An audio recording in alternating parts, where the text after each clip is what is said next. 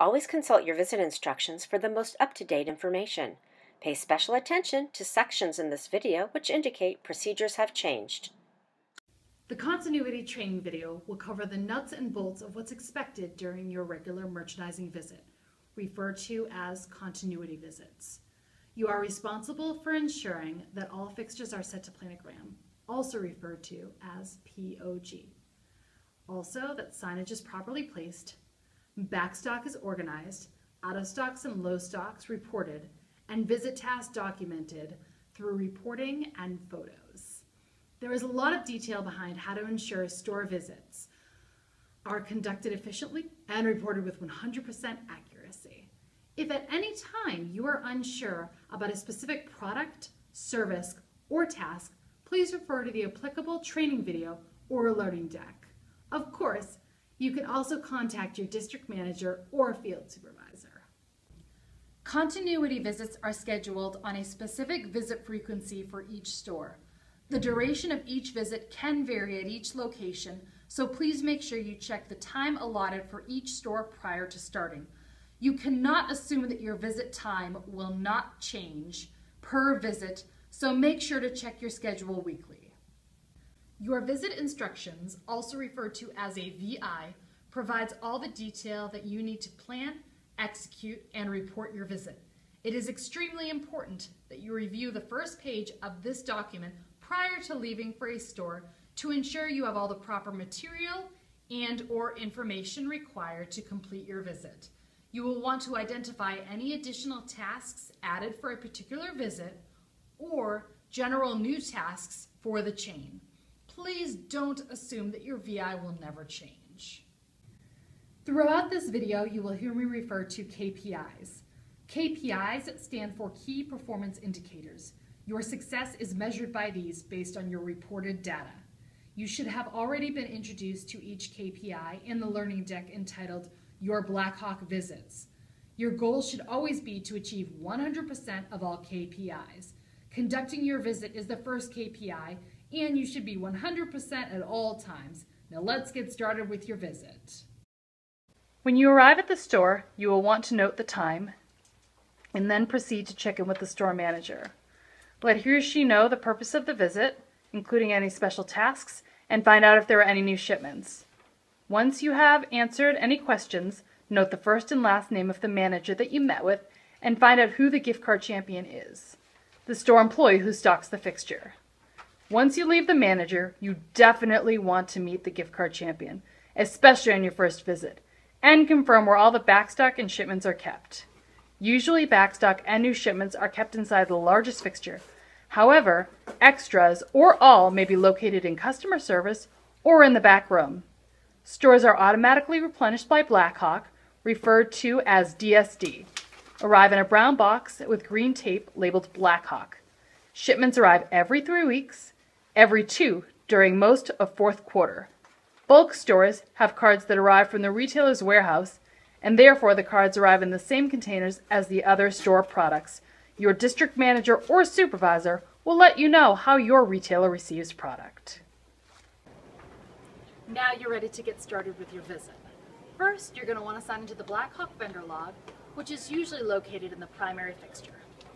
It looks something like this. Next, you're going to want to walk the store to get the on-entry fixture conditions. You will need to locate all fixtures on the sales floor and in the back room, if any. You will want to organize each fixture by relocating any misplaced cards. You will do this in order to accurately report the number of empty pegs on entry. Then, you'll take your photo. Remember, these steps are all required before you place any additional cards from backstock or new shipments. Once you've walked the sales floor and taken all your entry photos, it's time to start merchandising. First, you'll want to secure a shopping basket or a carry basket in order to keep your cards and other items organized. You can also use a carry basket for trash. You should keep any supplies within reach, such as a pen, paper, backer tags, or labels. If you find backstock or any new shipments in a location other than the fixture, you will want to put these cards in your cart. You will want to keep your cart out of the way of customers at all times. That means keeping it clear of the middle of the aisles. If all fixtures appear to be in the same condition, either all excellent or all awful, follow this order to prioritize your merchandising. Number one, primary fixture. End cap or largest fixture in the store. Number two, secondary fixture, the next largest fixture, which is typically a tower. Number three, check lanes. Number four, other outlying fixtures such as telecom, tiny tower, magazine rack, money center, etc. If you find that any of the fixtures are already stocked and look good, then skip those and move on to the fixtures in bad shape.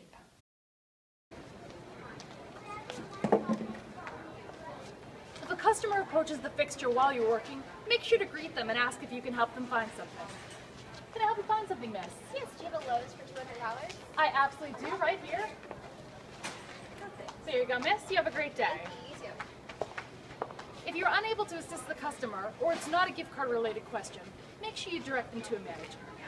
Before you start merchandising, you want to make sure you understand the store's planogram for each fixture. Planograms show each card location on the fixture and are organized by category. Setting a fixture according to planogram is one of your KPIs. The learning deck and your visit instructions will provide you details with how to read a planogram. Before placing any cards from new shipments or backstock, you will want to straighten existing cards on the fixture and remove any damaged cards. You will also want to replace any missing or broken pegs.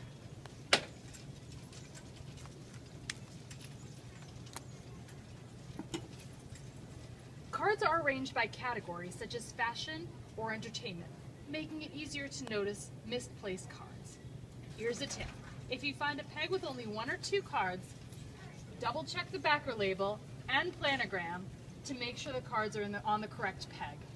Refer to your planogram frequently to make sure cards and signage are properly placed. Once you have done this, you will want to make sure that backer tags or labels are placed for any empty pegs. If you do not have a pre-printed tag, handwrite one. Next, you will want to continue to fill the pegs by using cards from new shipments, then cards in backstock. Make sure to remove all plastic and bands from card packaging prior to placing cards on the fixture. Some cards also come with rubber bands. Make sure to save those for special projects in the future. You should already know that general purpose reloadable GPR cards cannot be displayed in the gift card section or with the word gift above. Planograms are created with this rule in mind for stores that carry GPR. These cards sometimes have their own rack and at other times are placed in their own section of a gift card fixture. It is extremely important that you follow the planogram and make sure that GPR cards and reloading cards are never placed or stocked in the gift card section of a fixture. You must remove or cover any signage that communicates gift if found placed on top of a fixture or in the same side of the fixture where GPR cards are displayed. These cards must be separate from gift cards and gift card signage due to the Federal Card Act. You will be asked to report on GPR card and signage placement frequently.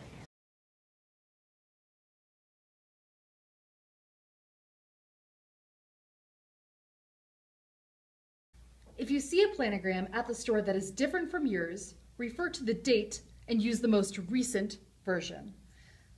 If the copy of the planogram that is kept at the store is out of date, let the card champion know at the end of your visit so they can print it off a computer. If you find cards which are not on POG for any fixture, check your VI for instructions. If it is a new card for which you do not yet have direction, leave it in backstock. Lastly, if cards are left from a shipper that has been removed and are not on planogram, you can throw these away. The exception is general purpose reloadable, GPR cards, which must always be returned to the warehouse following directions provided in your visit instructions and using the mailer provided. If a card is discontinued, you will receive specific direction to dispose of these cards. Typically, cards are discontinued because the card has been redesigned or the SKU is bad. If you are unsure whether a card is discontinued, contact your DM or supervisor. You will be answering entry and exit questions for each fixture during your visit. Red alerts are your opportunity to notify Blackhawk management of retailer specific or big picture challenges. Here are your red alert options. Has a fixture been discarded, placed in the back room, or severely damaged?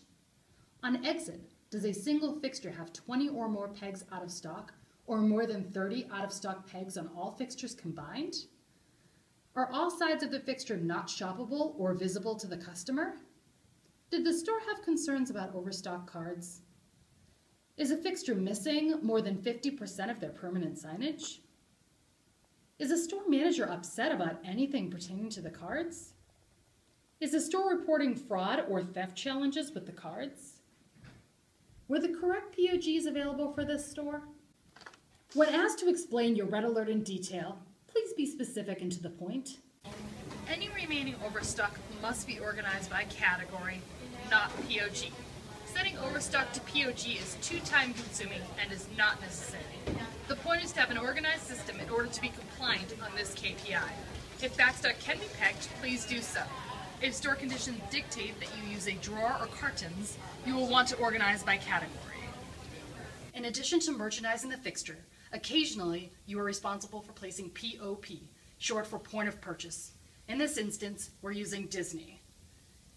Instructions on placement will be in your VIs. Backer tags are also considered POP and a part of your POP KPIs. Please note that the following segment regarding out of stock and low stock reporting is now out of date. The definition of low stock is now 10 cards or less per peg based on all fixtures. Out of stock and low stock reporting accuracy is the most critical part of your visit and is an important KPI goal. It is mandatory that you report all out of stocks and low stocks during every visit, unless there are none. If there are none, you will report no cards out of stock. An out of stock means there is zero of the card in the entire store. A low stock is a card count of less than 10 cards for the entire store. To increase accuracy, out of stocks must be reported after you have worked all new card shipments and backstock and spread stock evenly throughout fixtures. You are not actually placing orders. You are only reporting which cards are needed for inventory purposes. Please reach out to your district manager or field supervisor if you encounter any obstacles at store level that would prevent you from achieving 100% KPI compliance. Our goal is for you to achieve the perfect visit 100% on all your KPIs on exit. Achieving the perfect visit is not only a measure of your success, but also helps ensure the stores reach their maximum sales potential.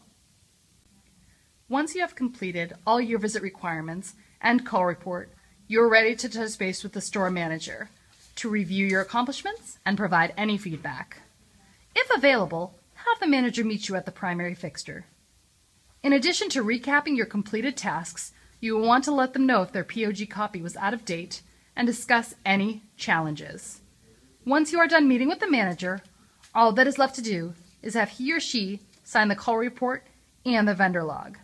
Then report the time that you completed the visit. You will also want to remember to put any fixtures you might have opened to access backstock back into place.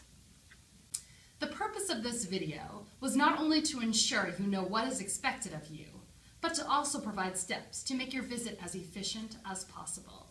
If you ever find you are spending extra time on a task and think, there must be an easier way, let your district manager or field supervisor know your thoughts. Or, if you have any ideas to improve the processes, they want to hear from you.